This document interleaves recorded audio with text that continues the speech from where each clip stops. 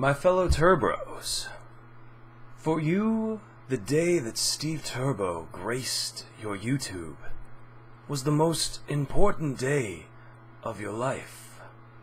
But for me, it was Tuesday. What is up, all my fellow Turbos? This is Steve Turbo coming to you with today's TurboCast, and today it's all about Street Fighter V, baby. I have been waiting on the latest announcement for Street Fighter V ever since, oh god, what was it, uh, March when Charlie was revealed? And I was so, so sick, and I really didn't have a chance to report on Charlie, so I'm going to try and mix it into this video talking about Bison. But we're going to talk about Bison first. That's the most important part.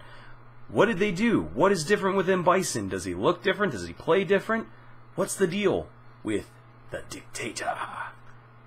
Find out in today's Turbo Cast. Let's go! So right away, uh, M. Bison. I gotta admit, at first I was a little, uh, I mean, I like Bison as a character in Street Fighter V, but he has been in everything so far, and I felt I feel like there are there is a better villain, overarching villain in Street Fighter rather than M Bison. But I mean, he is a classic character. But let's let's not waste any time, man. I want I want to talk about this. So, M Bison, what did they change? So let's talk about the appearance of the character. So, M Bison, as you can see, almost has kind of like a, a like blondish white hair now. Um, he has a brand new set of kick or a brand new set of clothes. He's uh, kind of brushed up his wardrobe a little bit. He looks quite sinister now. I mean, he always did, but he always kind of had like a cartoon villain campiness to him. But this time, he really does look quite intimidating. So some noticeable differences I've seen is that he is basically teeming with psycho power. I mean, he is absolutely pouring it out of him which leads to his move set, but we're going to talk about that in a little bit. But the particle effects on Bison are absolutely glorious to look at. Just rich, deep purples, absolutely gorgeous looking colors just coming from him, which tells me that this is going to be just a treat for the eyes when this game is completely done. Um, but Bison so far looks great, and I didn't think that the white hair would work for him as well as it did, but damn does it work, and does it work well. I have to say, I'm really, really impressed with what Capcom has done here. But what about the moveset? What is different? How is he going to play? Is he going to play the same? Is he going to play different? Next! So right away, Bison's entire moveset has seen a dramatic overhaul. I mean, he has got some tools that he has never had before. I, I mean, starting with, in what I noticed to be the most important thing, is that he has Rose's fireball counter. In other words, her little her scarf absorb where she would absorb a fireball and fling it right back at you. He has that, which kind of confirms in this story that he has absorbed Rose back into himself, and that is what I'm assuming has led to his actual physical and physical appearance change. Um, so yeah, it looks like uh, sadly for all of you, just like James, who had Rose as your waifu, I'm afraid she's gone. She is now one with Bison. So, what about his other moves? Well, I mean, I've watched the trailer probably three times now, and there's probably some stuff that I'm going to be missing. I'm going to have to go and reanalyze the trailer again.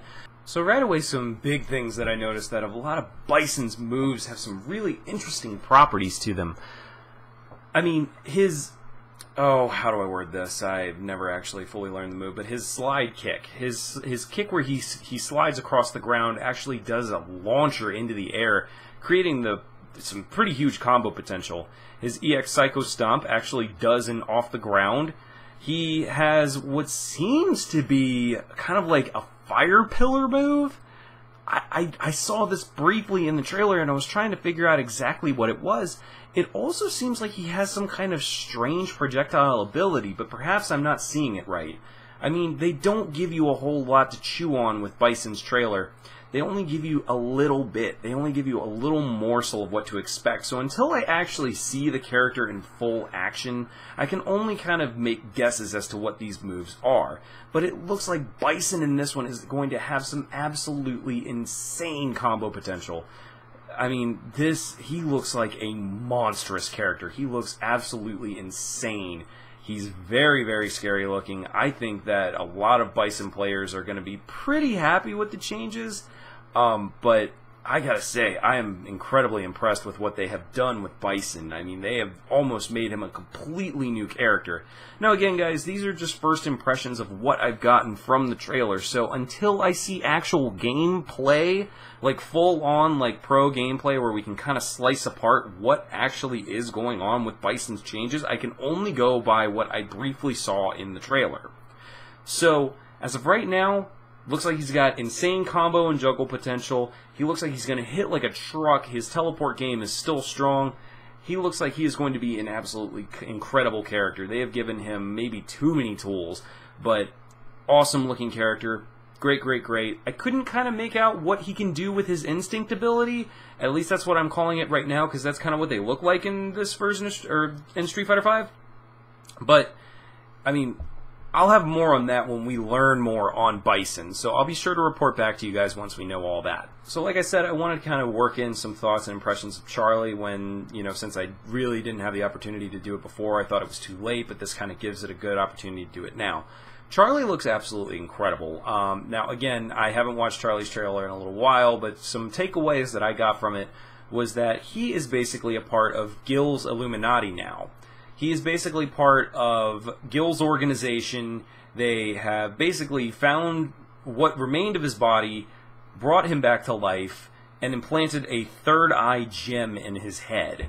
No, Street Fighter is not going to have gems. Calm down. They're not going to do that stupidness again. Or are they? I don't know. But regardless, so Charlie, right away, I absolutely love his look. Now, he definitely got some new tools in the game as well. So, a lot of his moves are still the same. I mean, he, of course, has his Sonic Boom, his uh, Flash Kick, a lot of the things that made Charlie great. But most notably, he has a teleport as Rugal's Genocide Cutter. This is a big one, guys. This one is absolutely amazing. For those of you who don't know who Rugal is, most people will prominently know him more from Capcom vs. SNK than they will the older SNK fighting games.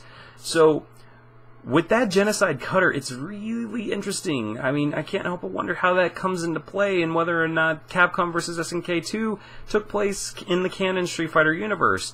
But all I can say is Charlie looks absolutely incredible. So far, all these characters are looking absolutely great, and Street Fighter V is shaping up to be an amazing game.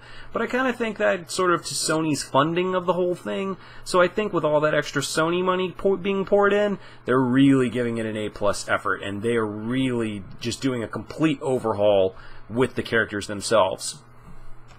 Now, a final thought for all of you after this small analysis.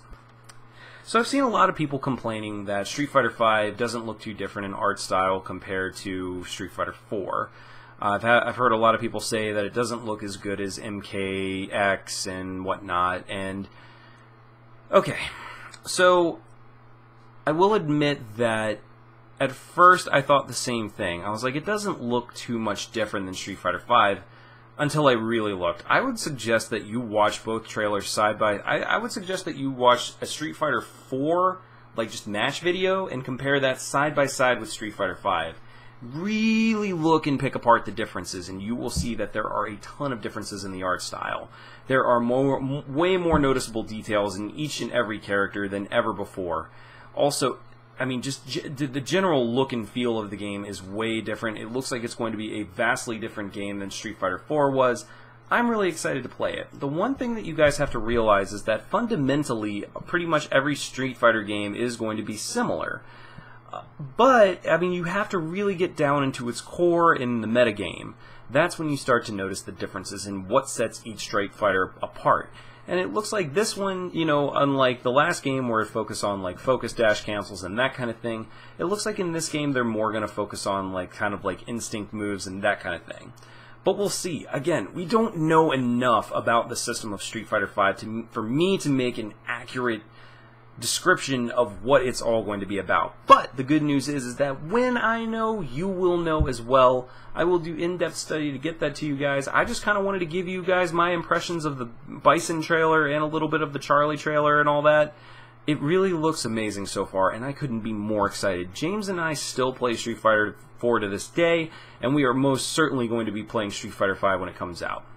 One other thing that I want to leave you guys with is that E3 season is upon us, and we will be doing a whole lot of coverage on pretty much everything E3 the week of. So make sure you come here to the Hyper Arcade Turbo Bros YouTube channel so you can get all of my thoughts, my impressions, and everything. And maybe I'll try and have the other bros on the show as well. But until then, everybody, the way that you can stick with us and get all these videos as soon as they come out is by subscribing. That's the most important part. I have 131, I think, 131 of you awesome Turbros now, so I definitely want to see more and share my thoughts with you guys. So until then, you know the deal. Like, comment, subscribe, share, all that goodness. And most of all, comment in the section below, in the comments section. Let me know, what do you think of M. Bison? Do you think he's pretty awesome? Do you think he's kind of lame? What do you think of Charlie? What do you think of Street Fighter V as a whole? And most of all, provide some pretty good reasons, guys. I mean, I will absolutely engage in some discussions with you guys, but if it's a matter of uh, Street Fighter 5 stupid cap crapcom, no like Mega Man. If it's that kind of stuff, guys, I'm not going to participate in the argument. If you can give me, you know, some good stuff to talk about, I'll absolutely engage in some discussions with you guys. But until then, everybody, have a great day. Thanks for tuning in, and we'll see you next time. Turbo out.